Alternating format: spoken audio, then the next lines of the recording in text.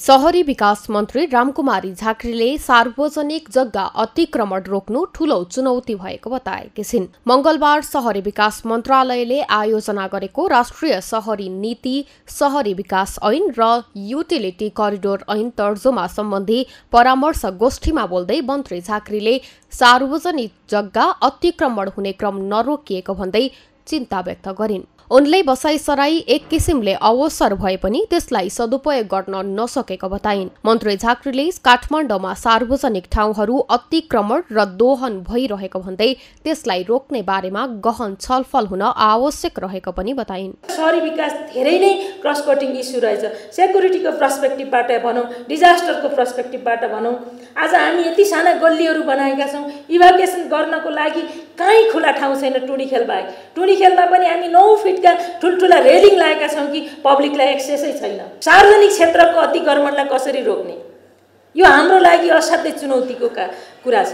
सार्वजनिक अतिक्रमण गरेर कहीँ आज दुई सयजना मान्छे डिजास्टर भयो भने हामीले इभ्याकुएट गर्ने खाली ठाउँमा लाने ठाउँ छैन काठमाडौँ। कार्यक्रममा सहरी विकास मन्त्रालयका सचिव डाक्टर रमेश प्रसाद सिंहले राष्ट्रिय जनगणना दुई हजार अठहत्तरको प्रारम्भिक प्रतिवेदन अनुसार नगरपालिकामा बसोबास गर्नेहरूको जनसङ्ख्या छ्यासठी प्रतिशतको हाराहारीमा भए पनि अधिकांश नगरपालिकाहरूमा न्यूनतम आधारभूत पूर्वाधारहरू पुग्न नसकेको बताए। उनले हालै स्थापना भएका नगरपालिकाहरूको संस्थागत क्षमता अपेक्षित रूपमा विकसित हुन नसकेको पनि बताए।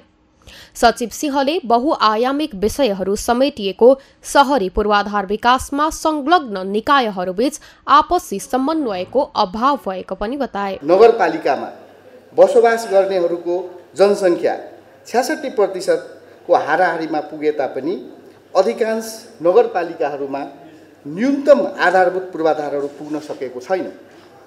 भर्खर स्थापना भएका नगरपालिकाहरूको संस्थागत क्षमता अपेक्षित रूपमा विकसित हुन सकेको छैन। बहुआयामिक विषयहरू समेटिएको सहरी पूर्वाधार विकासमा संलग्न निकायहरूबीच आपसी समन्वयको अभाव महसुस गरिएको छ। सचिव सिंहले सहरी विकासमा तीन तहका सरकारहरूको भूमिका समेत अस्पष्ट रहेको बताए।